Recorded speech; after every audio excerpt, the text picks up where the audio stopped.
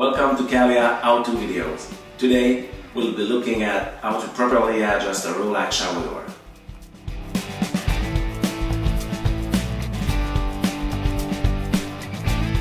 To adjust a Rollax shower door, you will need the following tools.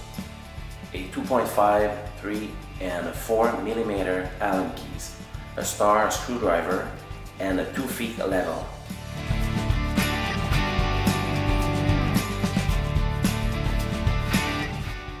Of all, the fixed panel. It should be always level. The first thing to check is the wall jamb. Secondly, place the level on top of the panel.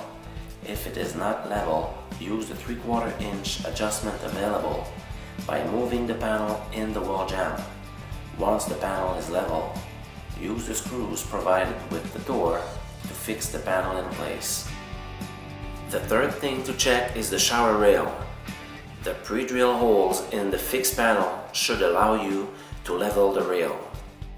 For more adjustment, make sure that the return panel is level.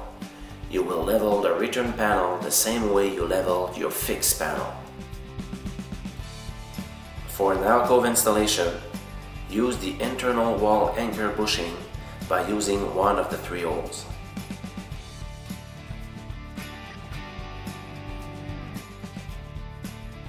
Adjust the mobile panel, start by loosening the roller stoppers in order to allow them to be adjusted.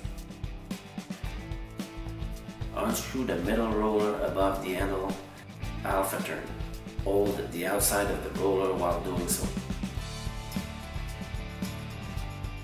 Insert the Allen key into the side of the roller to adjust the door. Turn the key until the angle of the door is aligned to allow it to close perfectly. Next, tighten the roller wheel. If the door is not perfectly adjusted, you can also adjust the second roller wheel. Now tighten the roller stopper until they are almost touching the shower rail. The wall jamb extrusion for the mobile panel helps ensure the door seals tightly when closed. The final step when adjusting a Rollax shower door is to eliminate the five most common source of friction when opening and closing the shower door. The first thing to check for is friction caused by screws that have become loose on rollers. Second, check for friction caused by roller stopper that are too tightly screwed and touch the rail. Third, verify if the guide extrusion at the bottom of the mobile panel is correctly installed. Two measurements must be verified between the guide and fixed panel. Fourth, the rail may be twisted if the installation was not properly leveled.